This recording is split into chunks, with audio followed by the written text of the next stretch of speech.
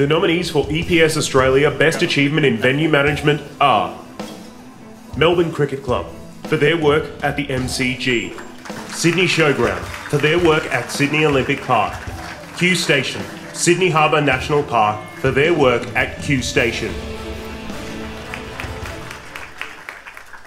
Okay.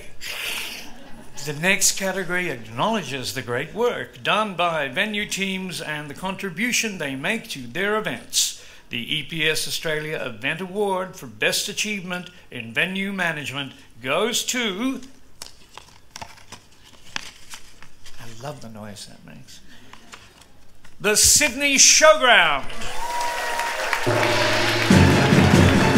Venue management team dedicated to working in partnership with clients, Sydney Showground delivered an outstanding experience to over 1.7 million visitors across their 22 venues. The judges said, an outstanding achievement providing a high quality experience for your stakeholders at a very diverse range of events and an impressive commitment to the environment. I won't stay long, but just really wanted to say a big thank you to our clients. Without them, obviously, we wouldn't be able to run the events. Um, to our suppliers that obviously help put them all together, but more importantly, to the amazing team at Sydney Showground who just do a fantastic job. So, thank you very much.